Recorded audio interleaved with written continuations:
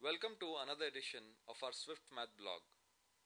Today we will show you a simple and super fast method for squaring a two-digit number. To begin with, let's try to find out the square of the two-digit number 43 the Swift way. We will begin by squaring the leftmost digit in 43. The leftmost digit here is 4. So first write down the square of 4 which is 16. Next we square the rightmost digit. Rightmost digit in 43 is 3. So write down 09 as shown to get 1609. Please note that we don't just write 9 but 09 as each step in which we square a number contributes two digits to the intermediate solution. For the final step, we multiply all the digits in 43 with each other and then multiply the result with 20. So multiplying 4 with 3 gives us 12 and multiplying 12 with 20 gives us 240.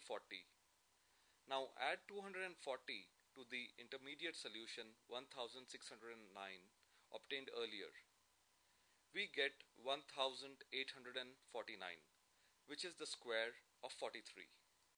I'll consider another example. Let's find the square of the number 89. As before, in the first step, we write the square of 8 as it is the leftmost digit of 89. The square of 8 is 64 and we write 64 as displayed in the video. In the next step, we square the rightmost digit 9. Square of 9 is 81. Now write 81 next to 64 as shown.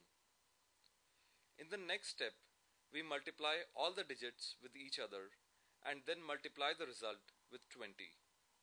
So multiplying 9 with 8, we get 72 and multiplying it again with 20 gives us 1440. We now add 1440 to 6481 obtained earlier.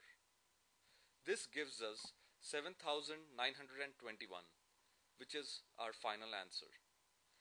Thus the square of 89 is 7921. I hope you found this video fun and informative. For more interesting videos, please subscribe to our channel on YouTube.